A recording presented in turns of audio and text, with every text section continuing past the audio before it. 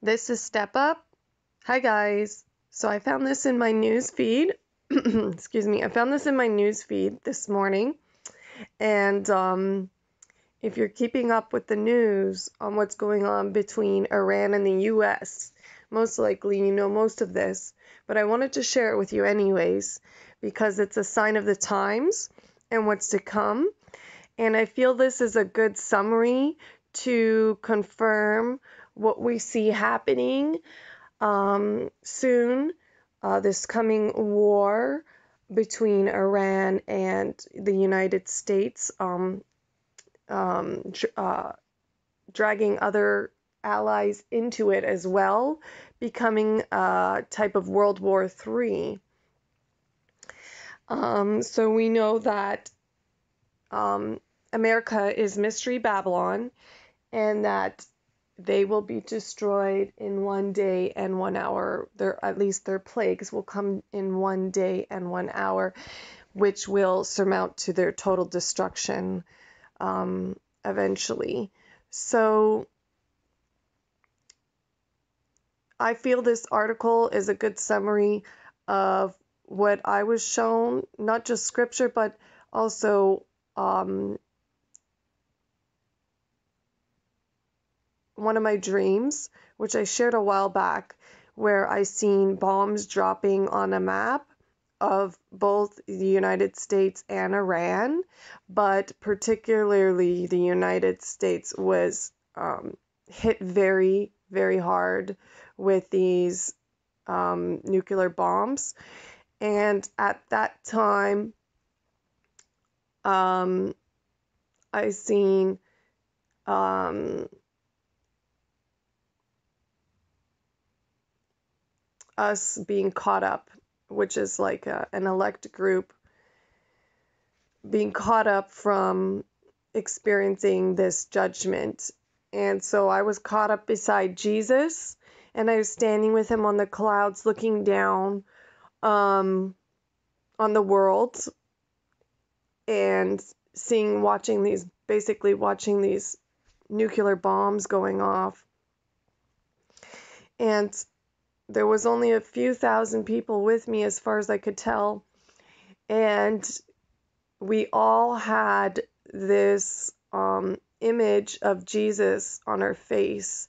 So it was like a supernatural image of his face on top of our face. And so that confirmed the scripture that um, that we are supposed to let the Holy Spirit conform us into the image of Christ. Um, so those were the people that were protected from this judgment. Those were the only people because all of them had the image of Christ. Um, so um, quench not the spirit and allow yourselves to be shaped by the spirit of God and our Lord Jesus Christ. And so I just wanted to read this out to you because, again, my dreams lately um, have been pointing. My last dream, one of my last dreams, I, latest dreams I posted also uh, point to um, the destruction of the harlot, Mystery Babylon, right? And that it could happen any second. It's being held back by the Holy Spirit. Um, so this is something that's going to break loose at the right time, but every second and every moment we have now is out of mercy for the Lord to bring in this one lost sheep.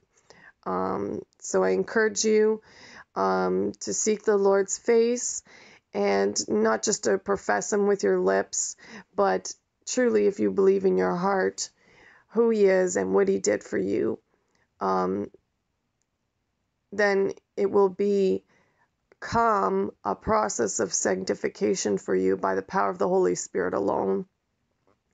And it will, the Holy Spirit will bring you to full salvation through further repentance and baptism. Okay? So um, be baptized, every one of you, in the name of our Lord Jesus Christ, unto the remission of your sins, and you will be given the gift of the Holy Spirit. And that's what you need. Okay? But the only people who were taken or spared um, or raptured or protected at this time of the bombing were those who had the image of Christ, who were already conformed into the image of Christ. So I want you to be aware of that. Um, so I'm going to read this to you, and um, I think it it's confirmation of this and what's to soon come.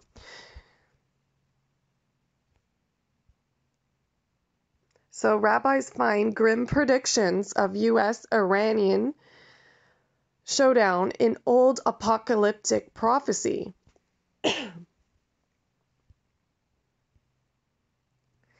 Tensions between Iran and the U.S. have escalated since Donald Trump took office in the White House. The Trump administration has pulled out from the Iran nuclear deal, reimposed sanctions on Teher- Tehran, listed the Islamic Revolutionary Guard Corps uh, IRGC as a terrorist organization and deployed extra military forces to the region. Rabbi Winston has discovered that an 800 year old collection of biblical texts titled Yalkut Shimoni, uh, Yalkut about a conflict that could destroy the entire world in similar to the ongoing standoff between Iran on the one side and the US, Israel, and Saudi Arabia on the other. And so we see this is also how the Psalm 83 war will get kicked off. He told Breaking Israel News that there are ancient conflicts coming full circle and pointed out that the notion of Iran being the arch enemy of Israel and US and the US was unimaginable just several decades ago. So the corresponding prophecies confused people.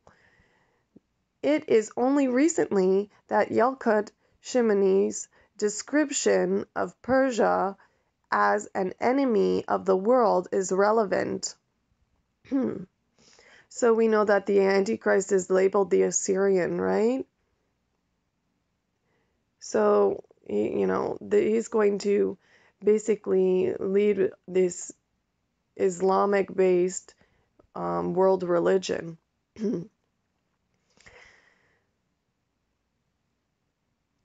He explained, noting several of the prophecies do speak about Iran or Persia being a major player in the end of days, but on the wrong side of the line. Right now, we are getting occasional sightings of what will be a very big thing. He warned that the enemy is going to have friends on the inside in the end times. That's very interesting so remember, America has been prophesied to be destroyed from within. So this is what's happening now. And this is why, uh, you know, the immigration laws since Obama have been, you know, um, have increased and been so lax. Um, and it's been recorded in many news media investigations that you know, alternative news media investigations that, in fact, it's just a bunch of young, um, war able bodied men, for the most part, being immigrated. So, very strange indeed. So, a lot of people are, are um, speculating could it be sleeper cells and, you know, um, what is to come of this, um, the effect of this. So, he warned that the enemy is going to have friends on the inside in the end times. The rabbi pointed to the mixed multitude, or Erev Rab in Hebrew, and its major destructive role in the exodus from Egypt, predicting that the final redemption would mirror it. So, this is talking about the times of uh, Moses when he delivered the people of Israel, the Israelites, uh, from Pharaoh, and they had the big exodus, and then again they had the plagues and um, the the darkness. Uh, he also had to do the days of darkness to redeem his people. uh, with God's mighty hand. And um, the mixed multitude that came, it was said in the Bible that the mixed multitude came out of um, Egypt with the Hebrews, and so the mixed multitude is actually Egyptians. So these are these are people who are not God's people. They're unsaved. So it's pointing of a shadow of pattern, and that basically it was the influence um, and assistance of these people that um, that that um, set up the um, the opportunity basically it, that it gave sway and and presence and um, um, to help basically usher in the golden calf which was idol worship. So that's that that's when god um, basically you know after Moses gave the Ten Commandments, he seen the golden calf and people worshiping, and then thousands of people died um, at the anger of the Lord because of it. And so this is the judgment that the Lord is bringing on his people. So it's saying that the rabbi is actually interestingly pointing up that this is the same pattern that's going to happen to America because they have um, in, basically in, endeavored into idol worship due to this mixed multitude of people who they're cohabiting with or have allowed to cohabit with them. Okay, so very interesting. Rabbi Ken Spiro from Aish HaTorah Yeshiva echoed his colleague's stance regarding this prophecy. In the end of days scenario, there are two parallel tracks for Gog and Magog the world united against Israel, and another in which Ishmael, Islam, and Esau, the West, fight each other. I always wondered how it could be both, and now I realize that that is really what is going on today, he said, explaining the link between current events in the Middle East and the old text of breaking Israel. Okay, so we know just just to state to clarify, I've been shown many many times um, in many dreams confirming that Obama is the uh, Assyrian and that he is the Antichrist, and um, also if you remember a while back, if you've heard the prophecy from the Jewish boy who died, Nathan, Nathan, um, he also stated when he was dead, he was revealed many things and about the war to come and Messiah to come. And um, he also said that Gog was Obama. So everything is fitting into pieces. So again, take that to the Lord in prayer and study to show yourself approved. The Yalkut Shimoni comprises biblical scriptures and allegedly dates back to the 13th century, according to Rabbi Yitzchak, cited by the outlet it mentions the revelation of the Messiah, king, and nations provoking each other, namely the king of Persia fighting the king of Arabia, who goes to Edom, the west. He noted that in this prophecy, the king of Persia will destroy the entire world. Okay, so this is what Obama has set us up for. Um, so it's just um, basically a ticking time bomb from then, from his his term. Okay, from his presidency. So again, being destroyed from within. Earlier, Rabbi Mendel Kessin described Trump's victory in the presidential election as a revealed miracle and referred to him as the fixer of the West, Tikkun of Esau. Esau, very interesting. But, you know, we know that that was only for a time in a season. And in fact, Trump has become part of that golden calf reverence, that golden calf idol. Um, so we are to worship God and no man. So he's only here for a time to carry us in between to the um, uh, like a pause button again um, before God pours out his judgments and judges the harlot, which is going to happen very, very soon. And that's what the Lord is showing us here. Um, not just from dreams and visions we are seeing and that I've seen and been given, but also, you know, the facts. I mean, look at the articles like this, the real world events that are happening and other uh, and other biblical finds. So Okay, tensions between Iran and the U.S. reached a new level after Washington listed the Islamic Revolutionary Guard Corps IRGC as a terrorist organization earlier this year, with Iran doing the same to the U.S. Central Command. Later on, U.S. Na- National Security Advisor John Bolton announced that the U.S. was deploying the USS Abraham Lincoln Carrier Strike Group and a bomber task force near Iran in a move to send a clear and unmistakable message to the Iranian regime that any attack on the U.S. interests or on those of our allies will be met with unrelenting force.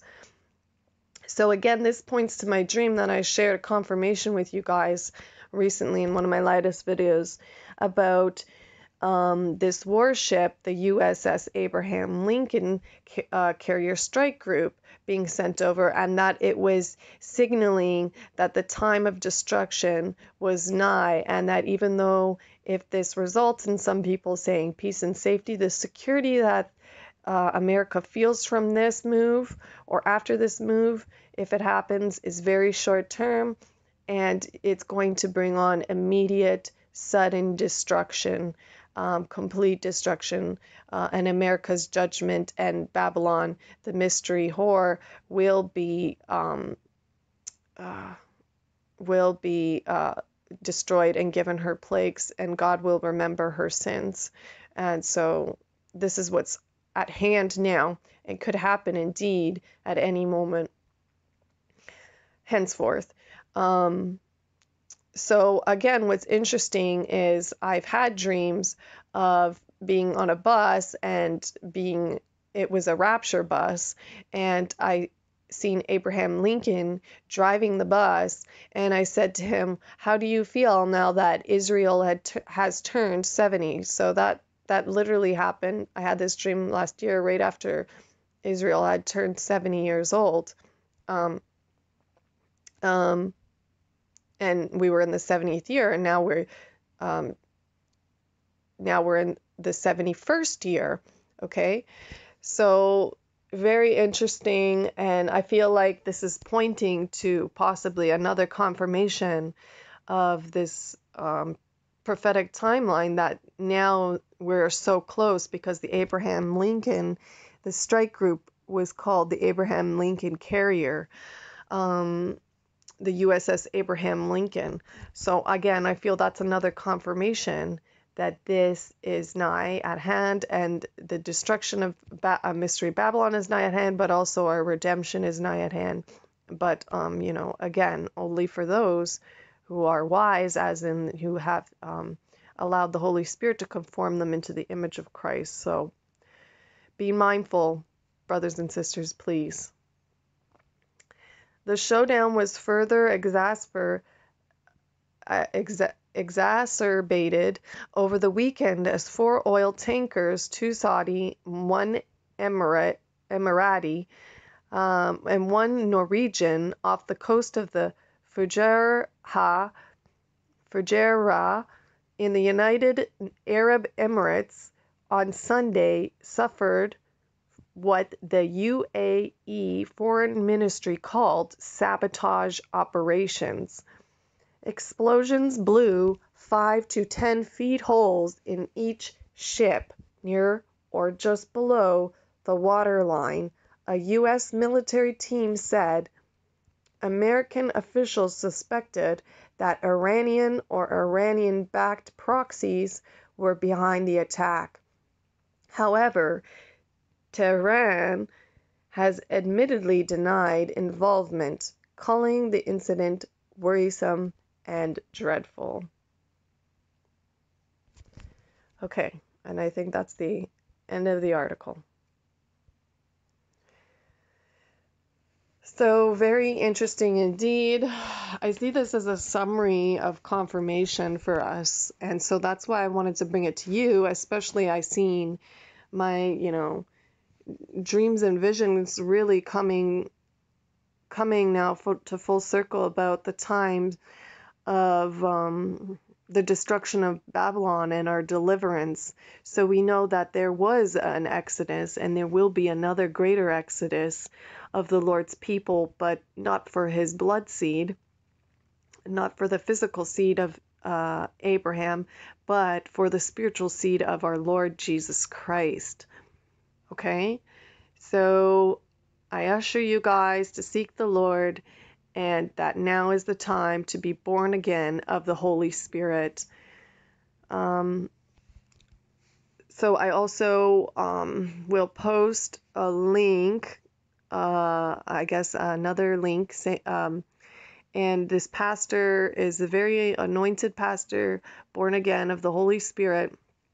And so he makes a clear, um, a clear study, and basically um, Holy Spirit's sermon, filled sermon on what it looks like to be born again. And basically, in a sense, asking you, um, you know, are you born again? So he goes ahead and he um, helps debunk that there are at least half of the church, which is 50%, which we see in scripture, the five wise and the five foolish, that these foolish are believing in vain that they have the salvation of the Lord Jesus Christ. But in fact, they have only an image of uh, godliness and that they deny the power thereof. So they don't have um, saving faith in Jesus, okay?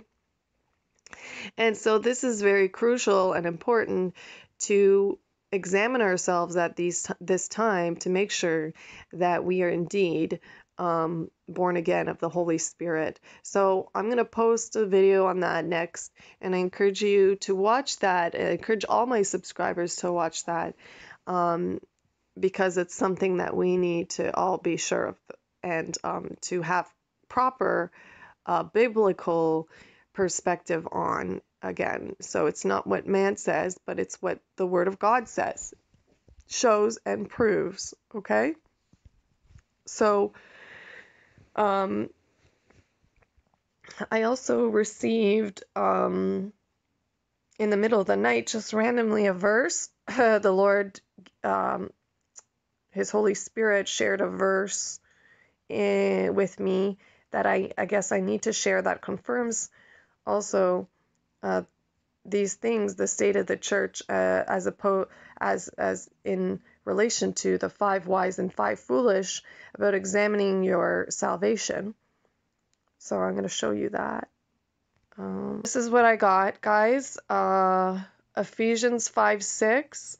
So it says, Follow God's example, therefore, as dearly loved children, and walk in the way of love, just as Christ loved us and gave himself up for us as the fragrant offering and sacrifice to God. But among you there must not be even a hint of sexual immorality or of any kind of impurity or of greed, because these are improper for God's holy people, nor should there be obscenity, foolish talk, or coarse joking, which are out of place, but rather thanksgiving. For of this you can be sure no immoral, impure, or greedy person, such as a person is an idolater, has any inheritance in the kingdom of Christ and of God. Let no one deceive you with empty words, for because of such things God's wrath comes on those who are disobedient. Therefore, do not be partners with them, for you were once darkness, but now you are light in the Lord.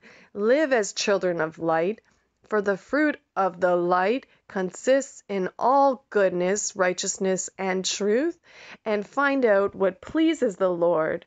have nothing to do with the fruitless deeds of darkness, but rather expose them.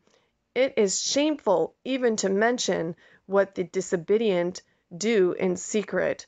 But everything exposed by the light becomes visible, and everything that is illuminated becomes light. This is why it is said, Wake up, sleeper, rise from the dead, and Christ will shine on you. Be very careful then how you live, not as unwise, but as wise, making the most of every opportunity, because the days are evil. Therefore do not be foolish, but understand what the Lord's will is. Do not get drunk on wine, which leads to debauchery debauchery. Instead, be filled with the Holy Spirit, speaking to one another with psalms, hymns, and songs from the Spirit. Sing and make music from your heart to the Lord. The Lord is seeking those who will worship in Him in spirit and in truth. That's what God wants. Always giving thanks to God the Father for everything in the name of our Lord Jesus Christ.